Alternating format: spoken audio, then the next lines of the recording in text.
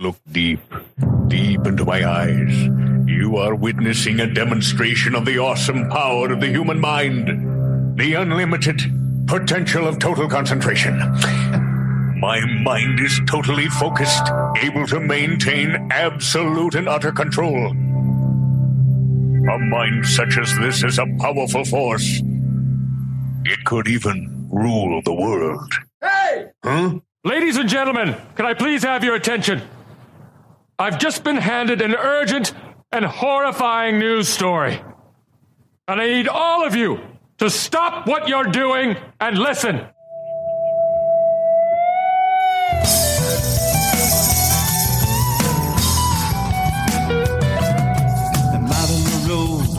Hey there, everybody. It is PT Pop.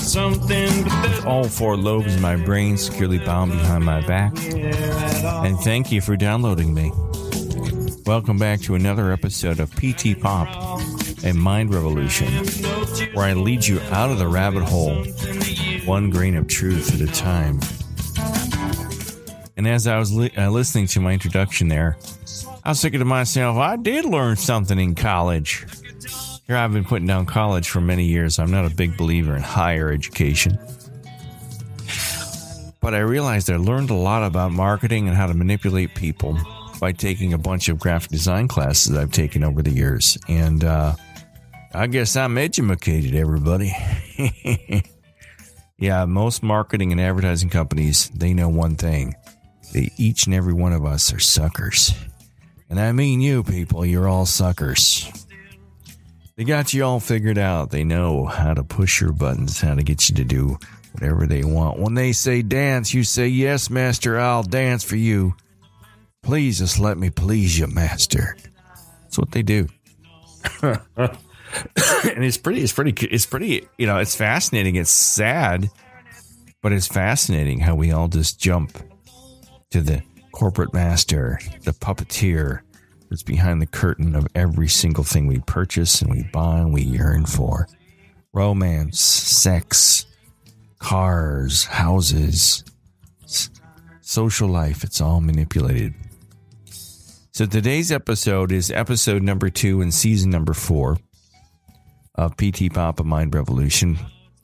And today's episode is called is a continuation of my analysis of the book by Martin Lindstrom titled Brandwashed Tricks Companies Use to Manipulate Our Minds and Persuade Us to Buy. We are all being persuaded to buy. And before I get to get get to that, let me tell you about a documentary I released this last May. The documentary is called The Artist, a documentary. A wild, wild title. I know, I know, I know. Contain yourselves, contain your excitement over that title. But The Artist, documentary is a documentary I wrote, directed, did some of the cinema, some of the cinematography and um, I wrote it, directed it, I distributed it. And the film basically, it's filmed in the thriving art community of Dayton, Ohio. The artist of the documentary explores the life of an artist through conversations with people passionate about what it means to be an artist, the challenges they face in this digital age, and the importance of the support of the art community. And um, that movie is now on YouTube for free. Free, I tell you, free at last. It's free at last, I tell you. And I'll put a link to it in the comments here. If, you're feeling charitable and you like to buy it, it's also for sale on Vimeo and on my website. If you go to theartistadocumentary.com, you can read about the film and get some, see some pictures of it, see a trailer, of things along those lines. But I'm very proud of this piece of work. Um, if you know any artists, regardless of what medium they create in, whether it's digital or it's painting or sculpture or whatever it happens to be, you know that their lives are not easy. You know they struggle to make a living. And very few people really do make a living with their art. And I know there's a few people are like, yeah, I'll make lots of money and I make 50 grand a year selling my wood carvings. Yeah, uh huh. Lots of luck to you, hun. I don't know, but it's it's it's a rough life. So that's what my movie tries to cover. And I I visit with a couple of great artists, uh, primarily Logan Rogers. He's the protagonist, pretty much in the film. along with Rusty Hardin, Rodney Veal, and a variety of other very talented and gifted artists. So check that out. I also am a musician. I have songs for sale on uh, iTunes or what they call it now, Apple Music. I'm an author. I've written three novellas. The most successful one I have is called Press One for Murder, which is they're all books of fiction. And another book called Breathe, John Lennon, A Conspiracy to Murder. I'll put links to each of those in the description here. But hey, so chapter two in this book is what I'm going to cover today. Today, and chapter two is a book, is a chapter that talks about fear. And this chapter is called Peddling Panic and Paranoia Why Fear Sells. And what I have found in this book is I my jaw just hit the floor when I saw how they use manipulate us with advertising and in just about every way you can think of. Brandwashed is the name of the book. Brandwashed by Martin Lindstrom. Tricks companies use to manipulate our minds and persuade us to use, persuade us to buy. And you're like, well, you know, why? Why are you telling us about this, Pete? Because I think this is what I think. Okay, when I before I'd ever taken a graphic design class, before I started reading any books about how we're all manipulated and, and you know kind of hypnotized to buy certain things, to live a certain way. I was just like the rest of you. I had no clue. I didn't know they use colors to manipulate us. I had no clue that they use sound to manipulate us or music. I didn't know about the wording that they use in advertising and how they get it to appeal to certain parts of our brain. I had no clue. I didn't know grocery stores are arranged in a certain way to get us to buy certain things at certain you know certain areas of the store. I had no idea. And most of you don't know either. Most of you have no idea. And I'm eventually going to get an expert on here. I'm just, you know, I'm somebody that just finds this stuff fascinating. But what I wanted to do is go over the second chapter. I'm on to chapter two. And this is called Peddling Panic and Paranoia Why Fear Sells. And if you think about paranoia and fear, we're right in the middle of one of the biggest fear pandemics in the history of the world with the COVID 19 pandemic. And they have raped each and every one of us with this pandemic. It's on the news. Everywhere we go, we're bludgeoned over the head with it. We're hit in the face with it. Everywhere we turn, it's on the news, it's on the radio, it's on the internet, it's on billboards, it's on the sides of cars. People are horrified, living in darkness, or living in fear. They're afraid to step outside their homes people I've been in the middle of this with the rest of you for what, two years now? I've got my friend's husband died a few months ago, and they put on his death certificate that he died from COVID. But my friend's wife, my friend, who was his wife, told me that he didn't have COVID. He died because he was morbidly obese and he had a heart condition. But they found that he had COVID, so they put it on his death certificate. That is the honest God's truth. That's what my friend told me.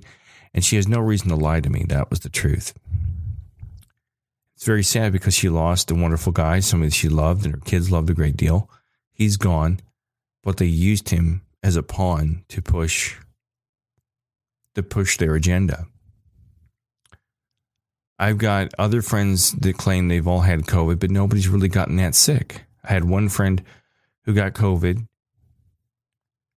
and he had some blood clots that they allegedly said were from COVID. They cleared him up, sent him home. Then he went to full cardiac arrest. He went into the hospital. They said he was going to die. And he woke up the next day and said, I want ice cream. He was perfectly fine. Other than losing about 30 pounds, he was perfectly fine. So, I mean, I, I don't really know. I, I know of a guy that played drums on my on a lot of my music he passed away alleged from COVID, but I don't know the details behind his death. But I don't know thousands of people. I would say I've met thousands of people in my life, but I currently know a couple hundred people. I don't know anybody that's really been affected by this. My mother, my my wife. I'm sorry, my mother. There's a Freudian slip there, Pete. Uh, my wife got the third injection or the booster. She's had two injections and now the booster, and the booster made her really sick. She was sick for two days, laying around just in agony with flu-like symptoms, but then it cleared up. So right now we're in the middle of a fear, fear, fear, feardemic. A feardemic is what I call it. And in this chapter, peddling panic and paranoia, he talks about uh, he the, the chapter starts off talking about pandemics that they tried to push in 2006 and 2009. There was a SARS pandemic and, you know, bird flu. And these are all things from years and years ago. And I remember when they came out, I was like, this is all bullshit. You know, I'm not going to get the bird flu. I'm not going to get SARS. And w- what had happened during these things is that thanks to those old um, global health health scares, he says. What they've done, these these companies that make the antibacterial soaps and hand wipe cloths and all those things, he said, thankfully, due to those original pandemics, bird flu and SARS, today we've welcomed antibacterial hand sanitizers into our lives as cheap, everyday, utterly essential staple. Expected to exceed $402 million in profit a mere five years from now, and that's just the United States. Containers of soaps and hand gels now can be found at virtually every airport, hotel, restaurant, public restroom, newspaper, kiosk, grocery store, and kitchen and bathroom sinks across the globe. The terrorist cell of germs, so to speak, he says, has become a global family affair. But it turns out that neither swine flu, I'm sorry, I think I said H1N1, well, swine flu. He says, turns out that neither swine flu, nor SARS can be prevented from the use of antibacterial cleansing gels. Both viruses are spread via tiny droplets in the air that are sneezed or coughed by people who are already infected. So, what these companies who make these gels, they took advantage of the situation at the time, knowing that people were scared, to push their products that really don't do anybody any good. That's what they did, exactly what they did. And it helped sales of Purell. This Purell, the top selling hand sanitizer, is it at the time was expected to jump 50% and Clorox disinfectant wise 23%. Their sales have, have, have increased by those percentages since the 2009 panic. These guys made a shitload of money off of our fear by pushing a product that really couldn't help us at all. Think about that. I mean, back then, I remember hearing about swine flu and bird flu and H1N1 and all this stuff.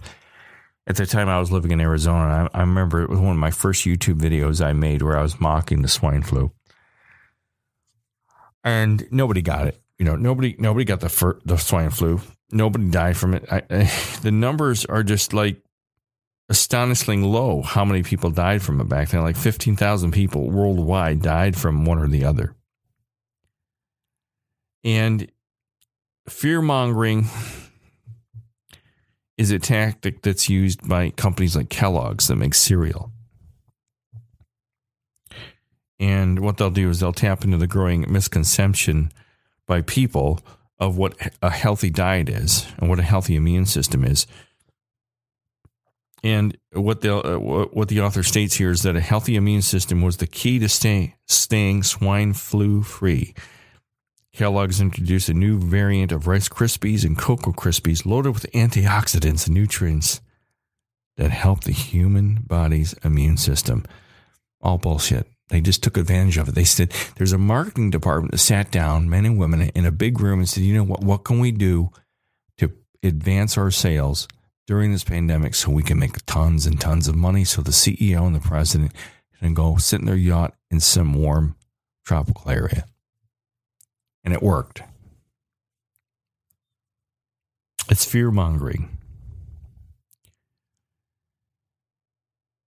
He states here that fear mongering is a tactic used by retailers like Walmart, Kohl's, and Target. Walmart was at work around the clock before Katrina Hurricane Katrina even hit. They have the stores fully stocked with full pallet positions of water, flashlights, batteries, canned soup, and canned meat. Say, "Oh, that's so nice of them." Oh, so nice of them. But they made a tidy profit in the process. See, they're not looking for your your well being. They're not really. They don't care about your well being. They're not thinking, "How can we help these people that are about to get hit by Katrina?" They're saying, "How can we make billions of dollars off of these poor saps that are dumb enough to live in the path of a hurricane?" Fear itself, he states here, raises our adrenaline, creating that primal instinct of fight or flight response. And when, when you unite people against a common enemy, fear also brings humans together.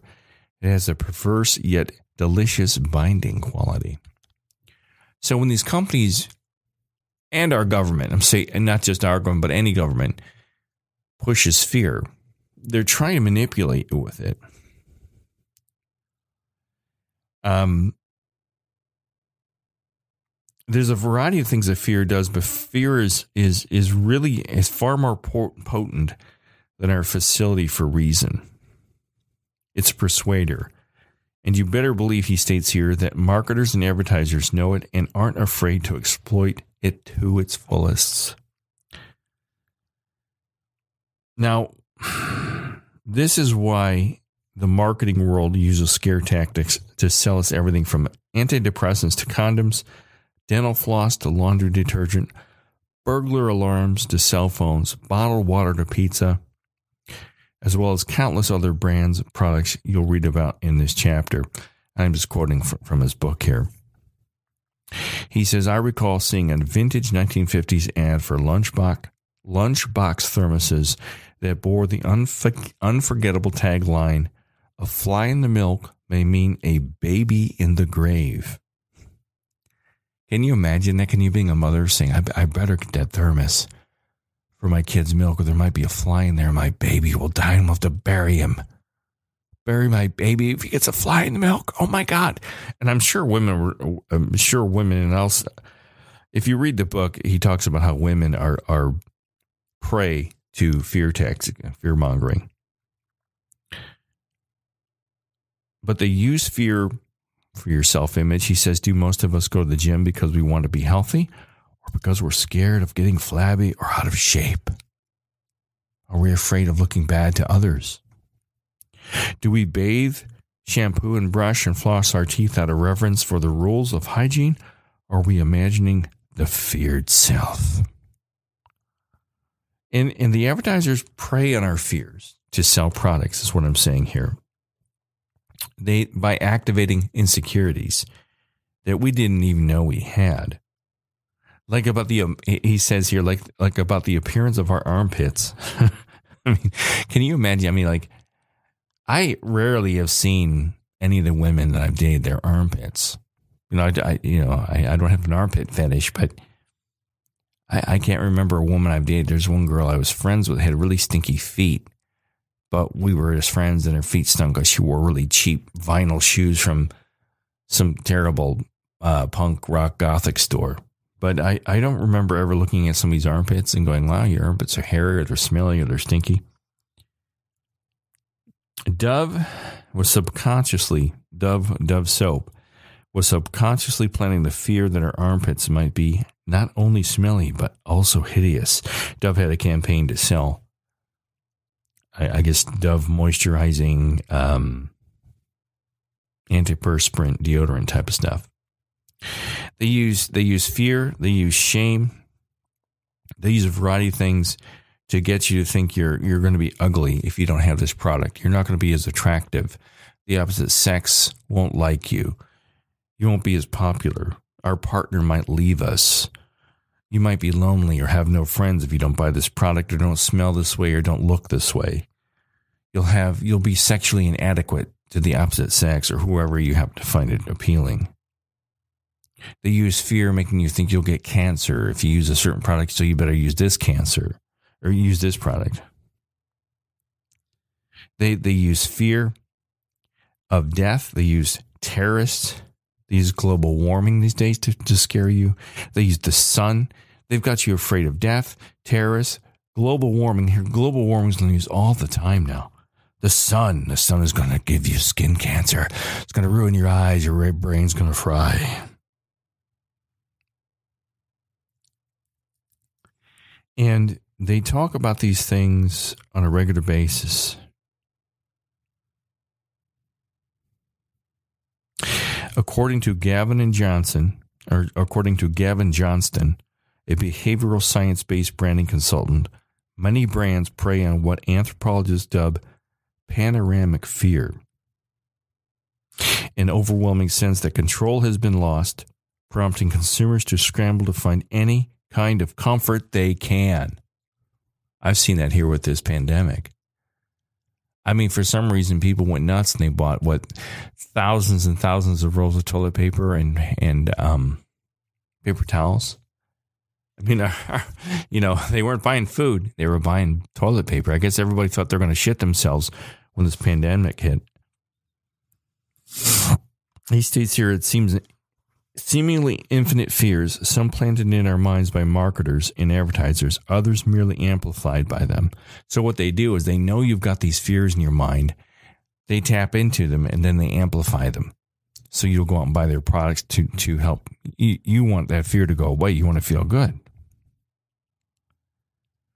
And there are so many ways that they're using you and, and manipulating you that I've covered in previous podcasts. And the reason ads that are designed to manipulate us work so well is because they hit us in two powerful places fear and its close cousin, guilt.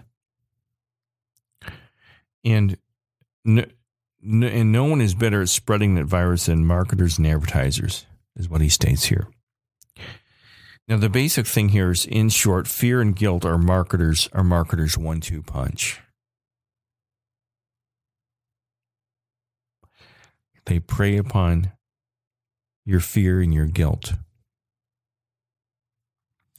And the, the the funny thing I see here is that most people out there, most of us, most of you aren't educated in advertising. You're not advertising and marketing. You're not you're not I'm sorry, you're not educated in marketing and advertising and you're not aware of what graphic designers do. Now graphic designers sit down and they're given a product or they're given a project to complete by by a client. And the client says hey i want you to help me sell paper towels. And they want you to incorporate their logo but they also want you to come up with a logo for the new paper towels that makes people want to buy it. And they use colors. They analyze the colors. They know the psycho- psychology behind the colors. Not the graphic designers necessarily but the advertiser knows what font they want most of the marketing people know what colors they want because they know what, what colors stimulate the mind to make it want to buy. They know what colors make people think it's fresh, that it's clean. And it and it's constantly pushed in our throat. I mean, false impressions are also put out there. You know, I mean, think about think about the television ads and the commercials we see for diapers or for um, paper towels with the plump cheeked airbrush babies who look as though they've never caught a cold, had an ear infection, or had a scrape on them. Every advertiser and marketer, every company wants you to believe there's a pill for that. There's Rogaine, there's Vioxx. And, you know, when you see these commercials with an Olympic ice skater skating around who's got knee pain or ankle pain, they want you to think, oh no, if an Olympic ice skater can come down with arthritis, so can I. But look, thanks to Vioxx, she's skating again. I've fallen for this. Maybe not with the ice skater, but I've seen people on TV, you know, oh, if that person uses this, maybe I could too, you know. If, if this famous person, Shaquille O'Neal, is selling something, you know, I, one of the ones was um, George Foreman in his grill. I don't know the story story behind George Foreman and his grill, but I remember going, I got to get one of these grills, man. George Foreman says it's good. It must be good. And uh, a friend of mine bought one, and it was it was no big deal. Was, the hamburger didn't taste any different than what you know what you put on the uh, when you cooked in in your kitchen or on a grill. But George Foreman, George Foreman says so. You know, but the one thing that I want to talk about today are the pharmaceutical companies because they make trillions of dollars off of us. And he states here that pharmaceutical companies also play one of the most subtle yet powerful psychological tricks our fear of social isolation, of being outsiders. Countless studies show that humans have a universal need to belong, dating way back to our early ancestors, for whom survival depended on being a member of a brand or a tribe. For most of us, the thought of being left out or alone is terrifying. Now, think about that. Right now, we're in the middle of the COVID 19 pandemic. And everybody in Western civilization is raised to believe there's going to be a knight in shining armor to come galloping down from the mountaintop on a white horse. And our Savior is going to be wearing a white fedora or cowboy hat. They're going to provide us with safety. They're going to come down and rescue us from the mean, evil COVID 19 virus, right? We're raised that, we're raised to think someone's going to come save us. And in this case, it's the government and the pharmaceutical companies. Don't worry, we'll provide you with a vaccine. They're going to give us a vaccine and it's going to save us because most people that I know and that I've talked to, the worst part of this virus is that they're alone. They can't see their families. They can't see their grandkids. They can't see their kids. Older people can't see their, their young kids. Everyone's afraid of getting grandpa or grandma sick. I've seen it in my own family. Everyone's afraid of getting somebody sick. We, we're isolated, but then once we're isolated, we're doing a good thing. We're doing the right thing by staying isolated, but everyone's miserable. I mean, the suicide rate is through the roof in this country. Do you think the pharmaceutical companies are making the vaccine care? Do you think they made it to help quelch, squelch the suicide rate or the loneliness or the feelings of abandonment? No, no, they didn't. They didn't. They made it they, they're making this vaccine because they're making billions and billions and billions of dollars off of it. Now he gives an example here. He says um, they give they begin with solitary shots of our worst feared self a balding man, an overweight woman, or an unhappy or distracted child whose gaze is conspicuously averted. Once the person in the ads has taken whatever it is that is designed to improve their appearance, steady their mood, or alleviate their symptoms, not only do they look brighter, happier, and sexier, but they face straight ahead and look into the camera. And he's not referring to viruses here like I was talking about with, with the pandemic he's talking about these, you know, these commercials where a company's selling a pill for arthritis or for, um, you know, Viagra, like for erectile dysfunction. This is on TV all the time. Erectile dysfunction. You know, you've got this couple, a middle aged couple or older, and they're sitting on the couch looking kind of solemn and, uh, you know, do you have trouble getting an erection? You know, the announcer says, well, thanks to Viagra, you can get it up again. Yes, kids. And you see the next shot after the guy takes the pill, he's happy, they're smiling. Yes. Uh, you know what? I, I want to meet these women who are really depressed that their husband can't get it up anymore. Because most women I know, they're like, honey, could you just put it back in your pants, please? I really don't want to see it again. You know, but they, they make it look like once you take this pill, you're going to have a better life. You're going to be happier, friendlier. Your friends are going to like you, not because you got a boner, but whatever it happens to be, whatever ailment it happens to be fixing. And pharmaceutical companies spend millions of dollars a year stirring up fear in our hearts over conditions we never even knew to be afraid of. And it found that Big Pharma spends nearly twice as much money on promotion and advertising as it does on research and development.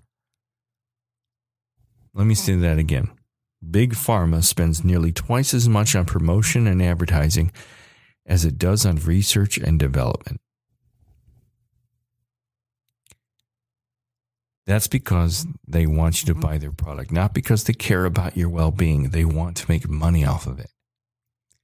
Now, I could pick on a certain pharmaceutical company, but I haven't done that research. But we we could find out how much these CEOs and presidents and people that run these companies make, and how much they make off of your alleged illnesses that they're supposedly getting rid of, or medicating, or putting off.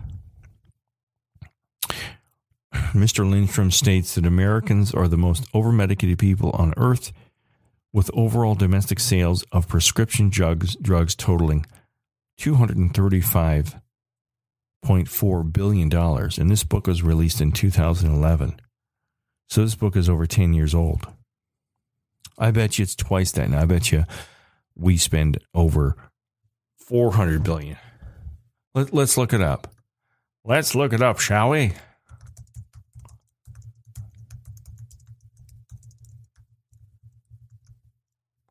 How much do Americans spend on prescriptions? I put it in DuckDuckGo.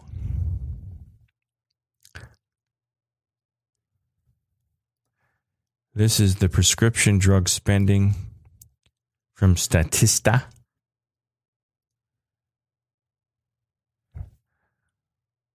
Well, I'm off by I'm off by 100 million. It says in 2020 Americans spent 358.7 billion dollars on prescription drugs. That's 150 billion higher than 2011.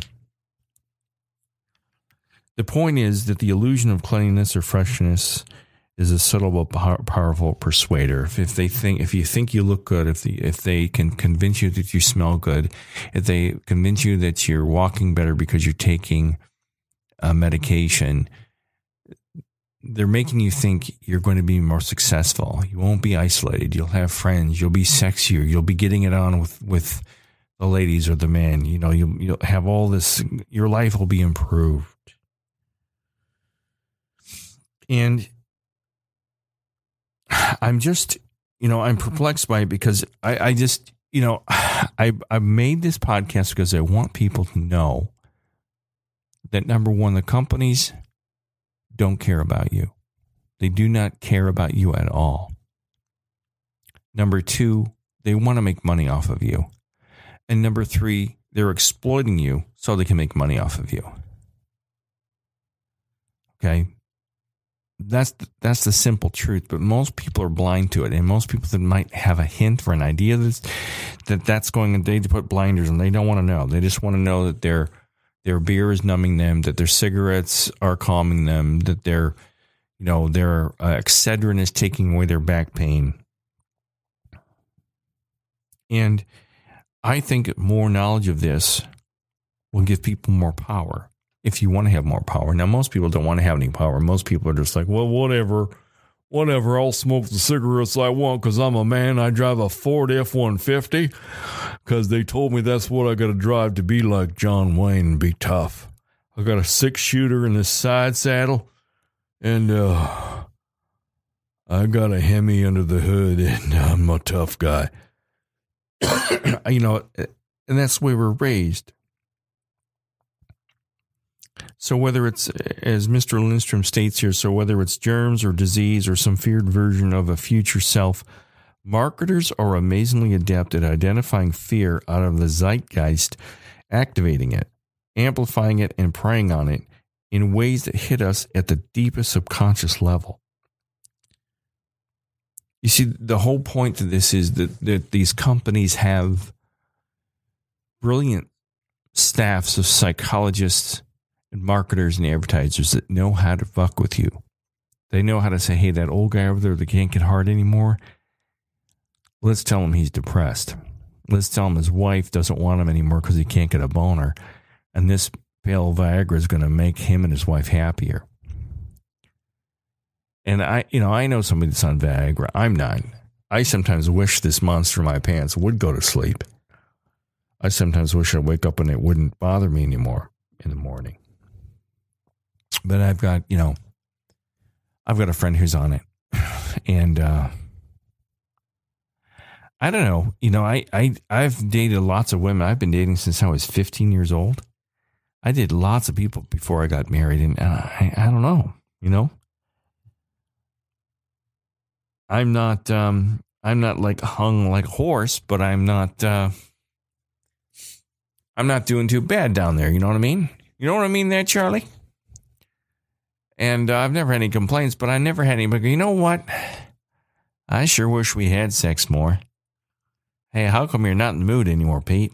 Uh, damn, I sure wish I had you inside me right this very moment. There's very few women I've dated are like that. And the ones that were like that, that really wanted it all the time, had some serious, serious mental and emotional issues from the things that stem from their childhood. I'm not making fun of them either. And lots of women that had huge sex drives that had, had been abused as kids. But um, they'll take advantage of everything they can. And, and they're using so many different tactics to, to get at you. And I want what I want to do with this podcast is make you aware that they're using fear your insecurities, your self image, your poor self image to manipulate you, to get you to buy things that you don't need, to get you to want things that aren't good for you, to make you think you're going to have fresher smelling hair because it smells like apples. When apples in shampoo don't mean your hair is cleaner. He, uh, Mr. Lindstrom even cites your shampoo companies that put a chemical formula together to make the shampoo more bubbly so the consumer would think I must be getting my hair cleaner because there's more bubbles in it, which makes no sense whatsoever. Bubbles, it doesn't make any sense whatsoever. Bubbles have nothing to do with cleanliness. If that were the case, I'd bathe in beer. Um, each and every one of you are being manipulated on, on a variety of levels. And I want you to start looking at it. You don't have to do it for me. Do it for yourself. Walk in a grocery store and think, I wonder why all these candies are at the checkout aisle.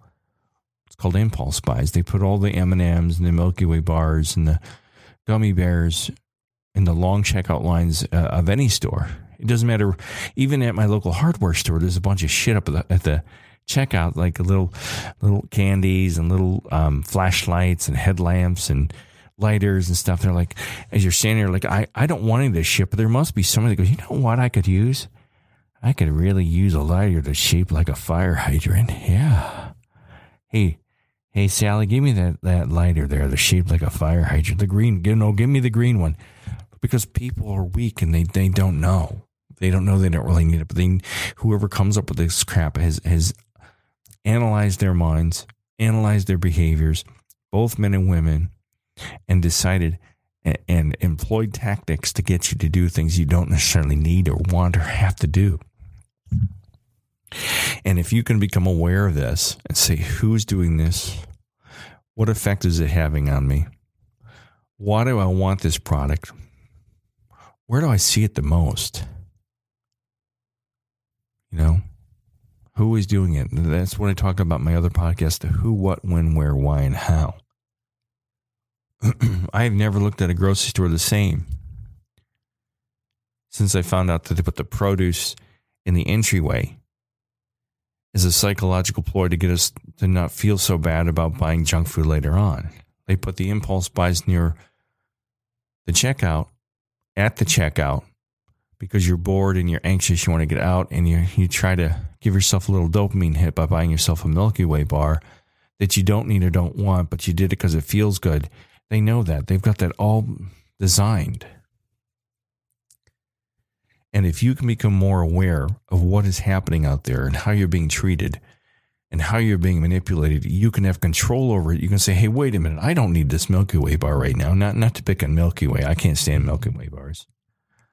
But I don't really need this right now. And you'll find as you as you start to pull away from all the things you thought you needed, you'll want them less.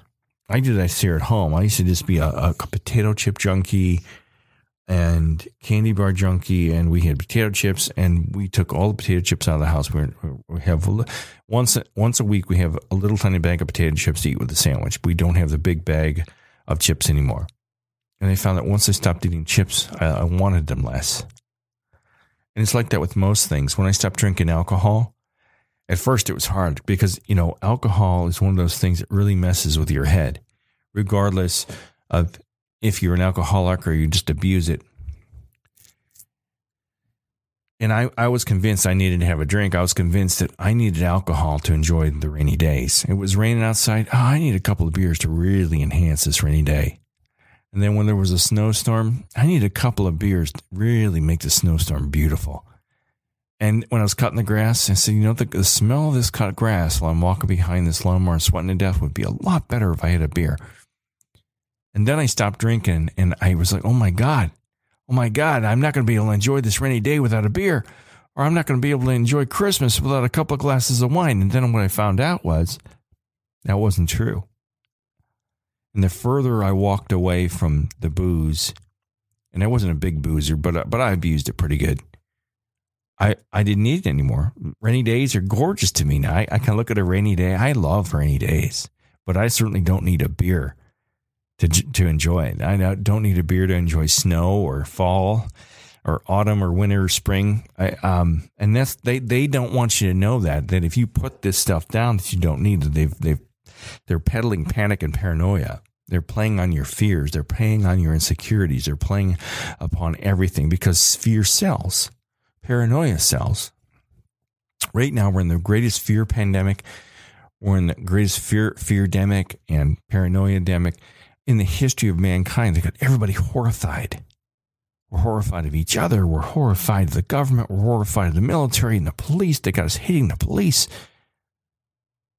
And everyone's hunkered down in their houses with their guns and their vaccines and their face masks. And they're to, but they don't even know who the enemy is. We think it's a virus, but, but the enemy is really the corporations that run the countries, that run the world.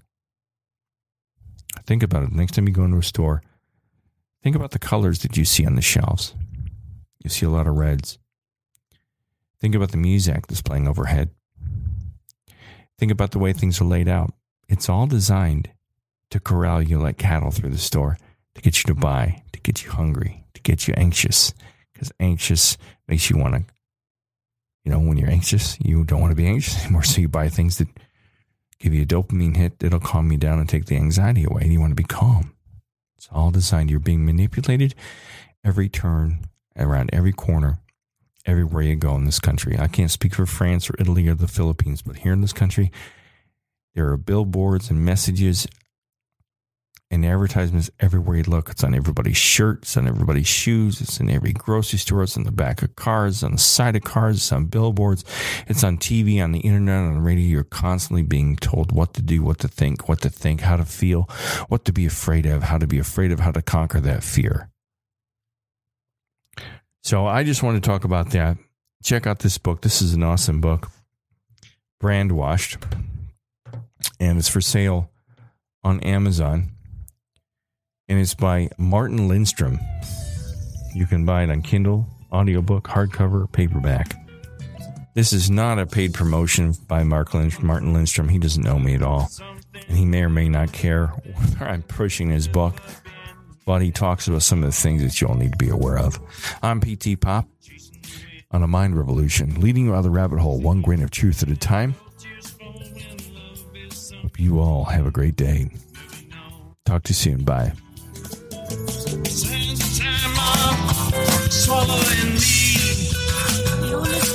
Like a dog in a cage, howling to be free? At a time. Drinking fine wine, saved by the bell in the middle of the night, just in the name.